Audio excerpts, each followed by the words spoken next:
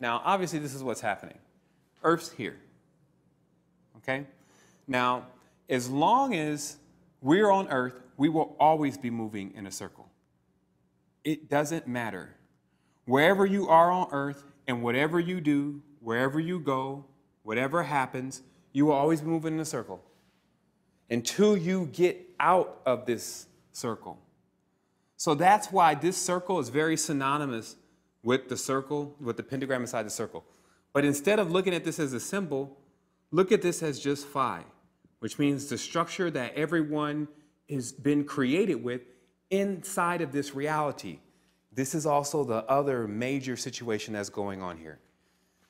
This planet next to us, known as Venus, is creating what I believe is a womb that is shaped like this. And that what's happening is, is up here where we're coming from, let's say uh, the fallen glob, because you don't even have a body.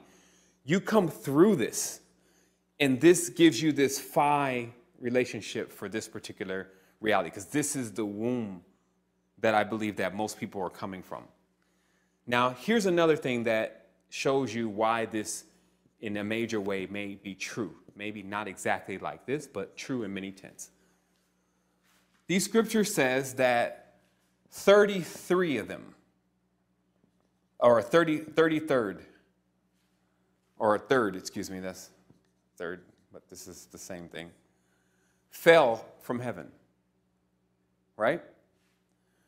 So when you can really grasp then that the body then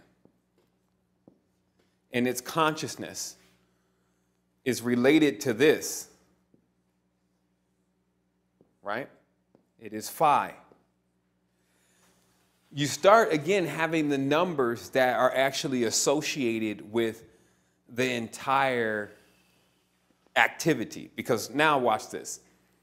If a 33rd or a third of them fell, that would kind of equate to why there's 33 positions in our spine because that's 33 vertebrae minus heaven or minus the, the skull.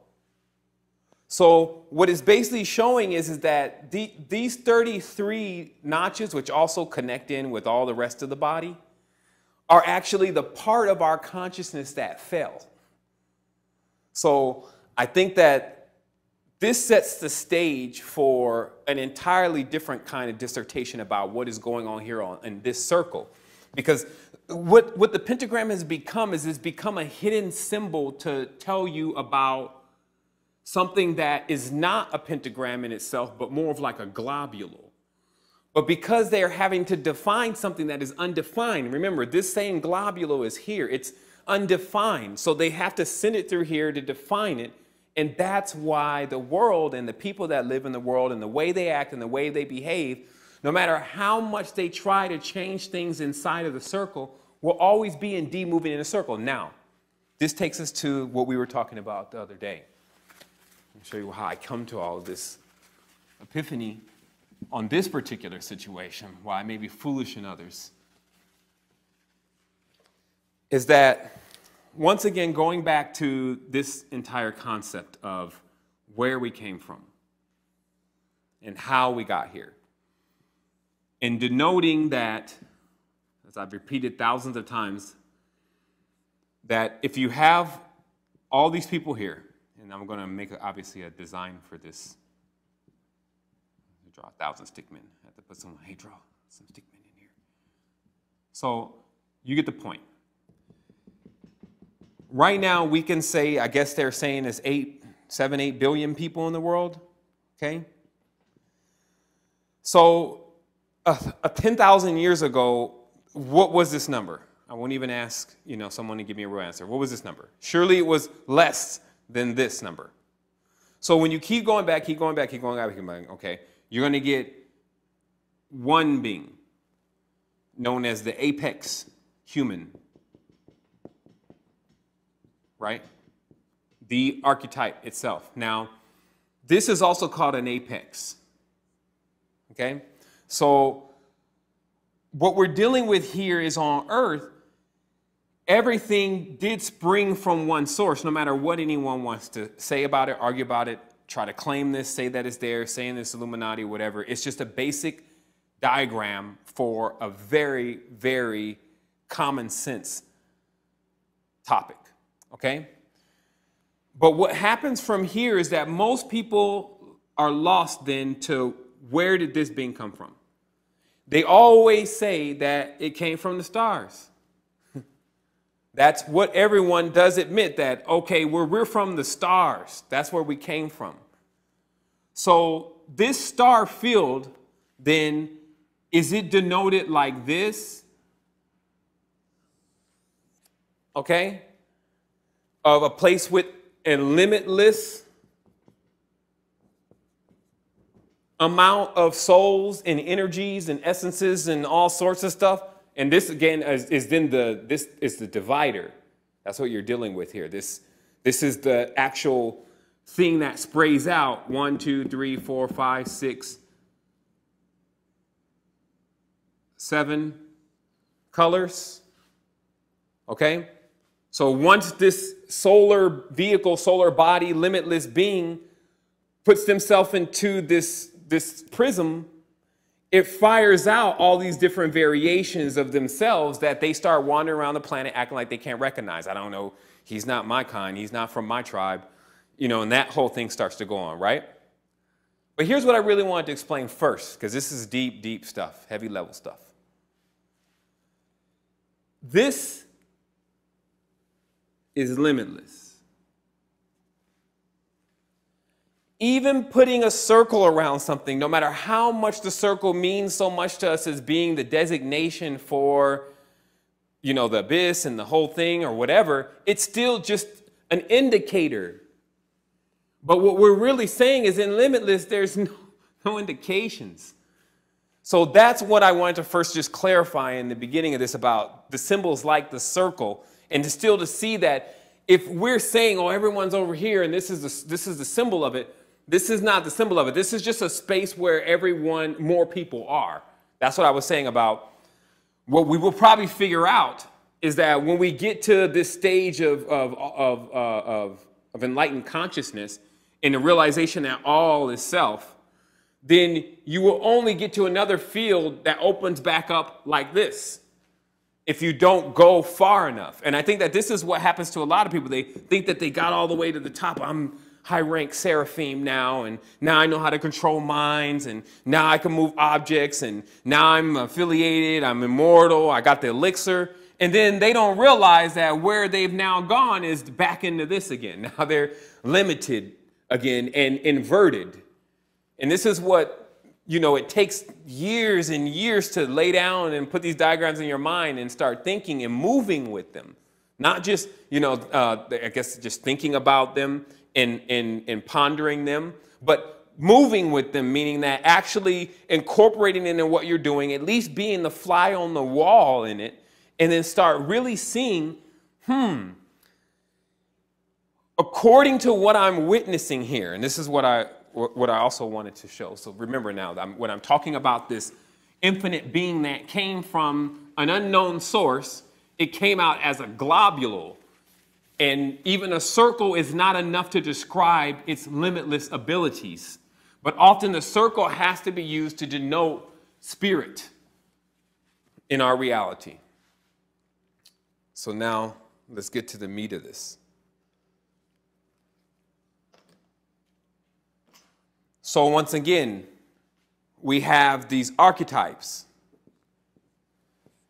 So, or excuse me, uh, things that are synonymous with each other.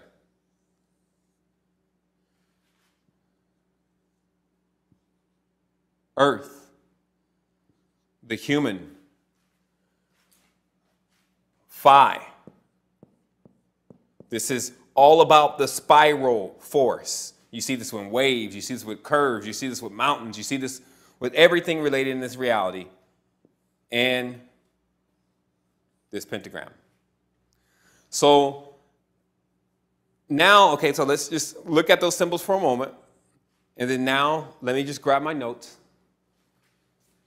because I'm going to explain to you the rest of why this metaphor about fighting the dragon or the serpent or the league of serpents, the lords of this world, the physical, the physicality.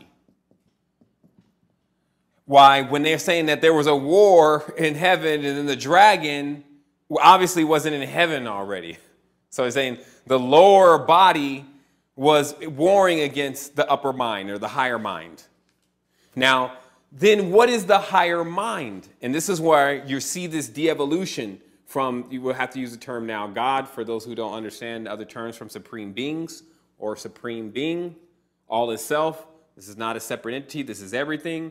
And then what you would call an angel, Nephilim, Rephaim, or Amazon, and then what you would call a man and a woman. Okay? This is several stages.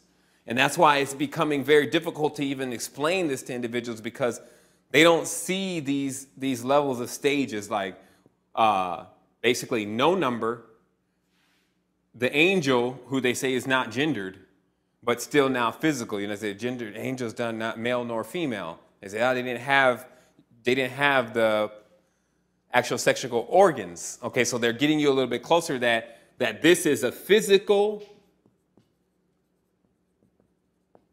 androgynon. With in always the archetype, it has wings because it's to denote that it's coming from above. These are all fallen beings. Now,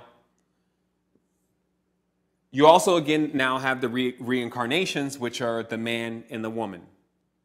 So this is the, the genealogy and the symbols, again, that are to be used here. And let me, let me uh, get here to my notes.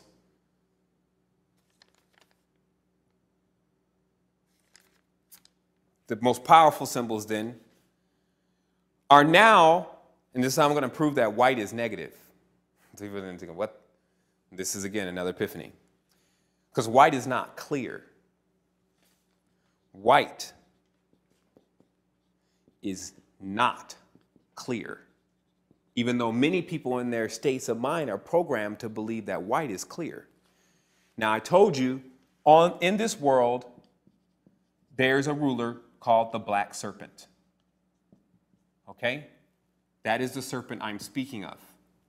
This is Sod. Okay? How could it be a serpent though? Because people now they're looking for this bipedal hybrid reptilian creature. Right? That's what they're looking for. They look for a naga. You missed it.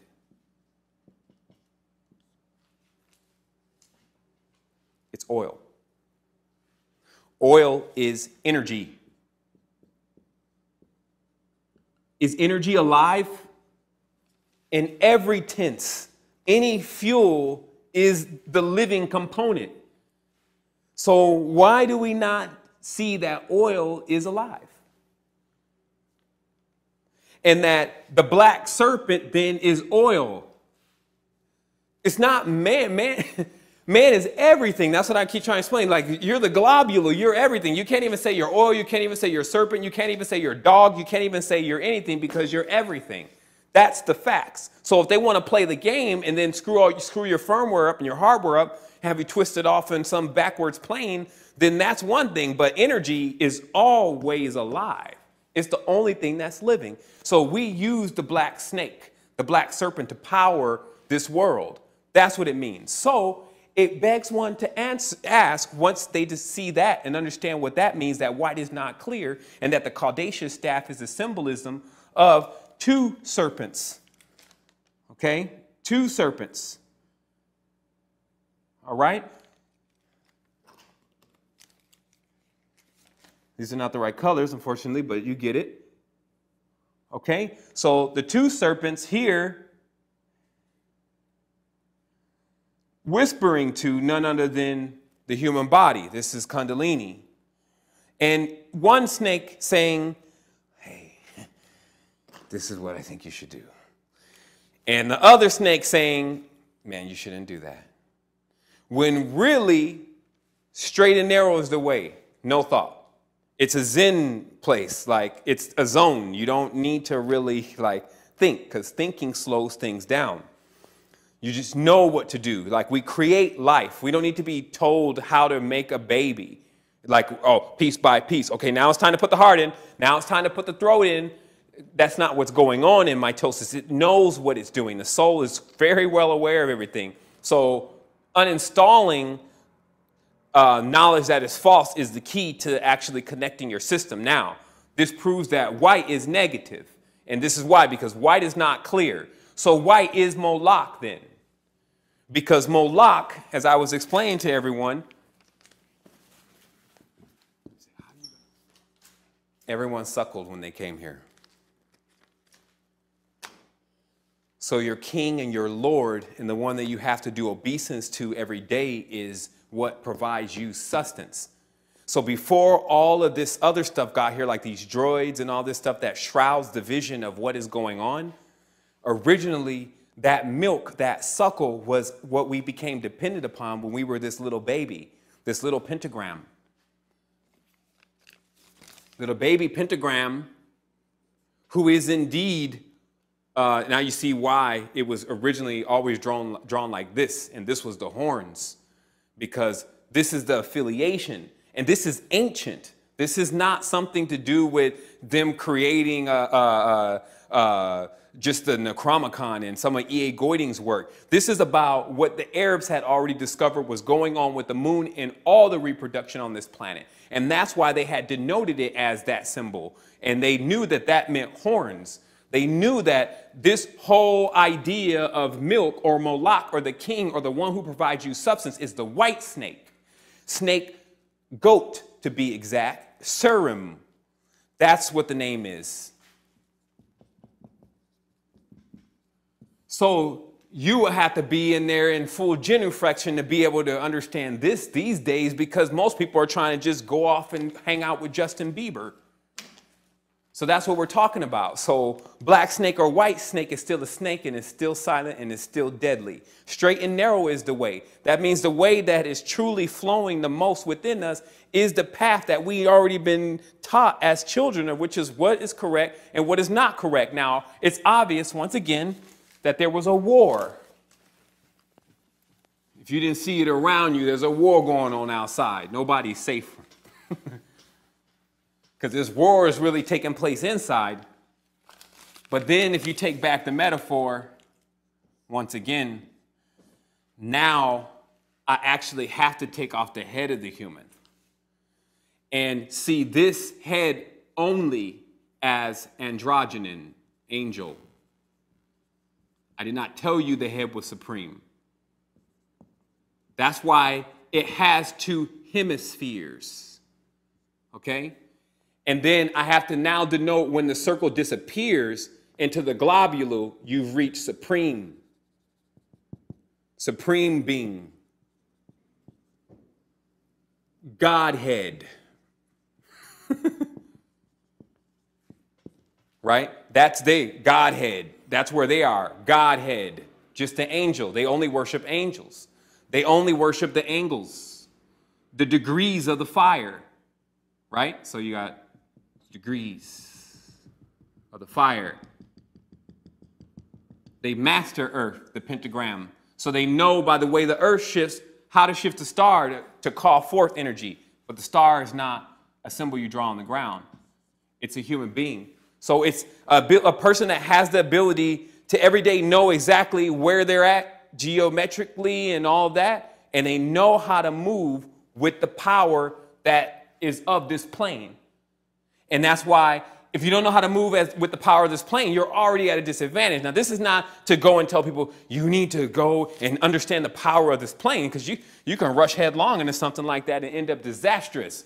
All I'm telling people is, is that there's something more massively serious going on here, and it's going to take all of our collective minds that want to get involved in order to figure it out.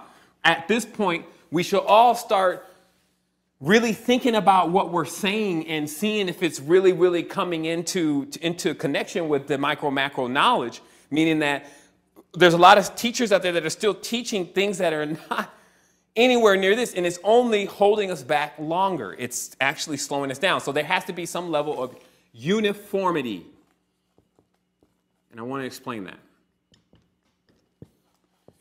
Because I'm not talking about everyone becoming like the same thing. This is something important that people need to know. I'm not talking about everyone becoming the same person. What I'm talking about is you becoming everything. See, because this is a big thing, because a lot of people think in uniformity that they'll lose this individual character. Individual, right? This is the weakest person. Individual means weak. And it does not have anything to do with being everything, which is strong. Why? Just take a whole. The more we take out of this, the less is going to be there. So if we take out pieces of this pi or phi,